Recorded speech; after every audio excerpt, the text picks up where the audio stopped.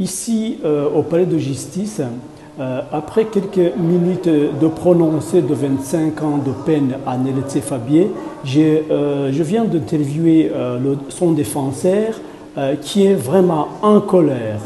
Ça a très mal commencé ce procès. On nous a refusé nos témoins. Que voulez-vous que je vous dise de plus? Ça a mal commencé et ça a continué pendant tout le procès. Alors moi je suis révolté. C'est un scandale pour la justice belge. Ce qu'on accuse comme euh, génocide, euh, c'est, c'est vraiment scandale ça? Oui, parce que moi j'ai évoqué la jurisprudence récente du tri- de la Cour pénale internationale dans l'affaire al-Bashir, où on exige comme élément constitutif du génocide qu'il y ait un élément contextuel. Ça veut dire une politique, un plan. Ça a été refusé comme question. C'est un scandale, ça. Quand on vous accuse d'être négationniste, qu'est-ce que vous répondez? Mais monsieur, je n'ai jamais nié les actes génocidaires contre les Tutsis. Donc je ne suis pas un négationniste.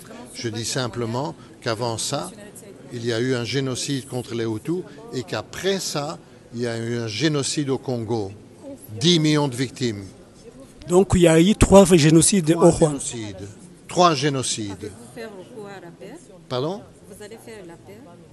Non, la cassation, oui, c'est certain. C'est certain? C'est certain.